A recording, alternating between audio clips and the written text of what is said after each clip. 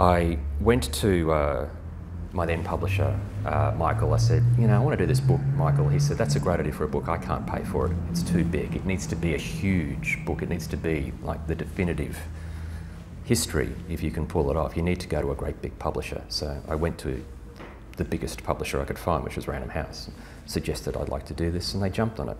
So what I wanted to do was not just a history, I wanted to use a lot of the skills that I had picked up working for magazines. And there's a very particular skill set you get doing that that you don't get working for, say, newspapers or even writing academic histories. When you write for magazines, you write. Uh, Tom Wolfe called it new journalism. Uh, I actually prefer the term narrative nonfiction. What it does is it tells stories about real people and real events, but it uses the techniques of novelists to do it.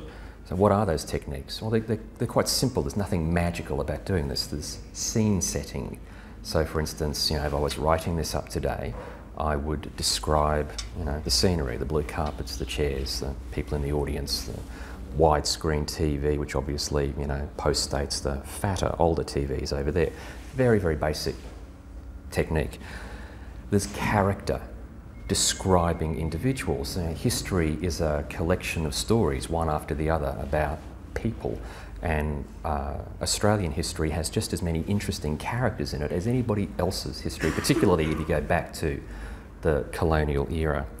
Um, there's point of view and what Wolfe called status life, which is actually getting inside the heads of your characters. And this was quite controversial when uh, journalists and, and non-fiction writers began to do it back in the, for the first time back in the 1960s and 70s because what you are doing is writing a story that you say is true, but you are telling people what is inside the head of the person you're doing it about.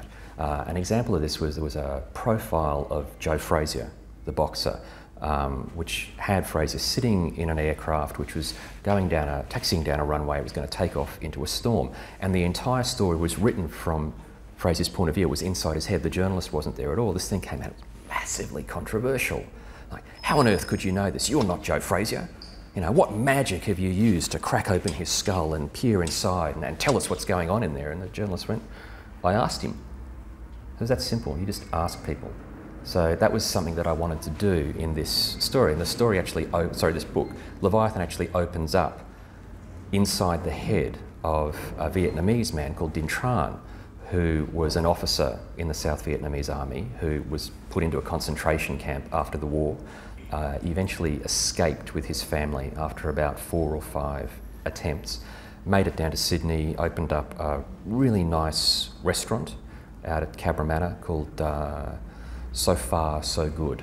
Far spelled P H O for the soup. Yeah, I, I, thought it was cool too. Um, but the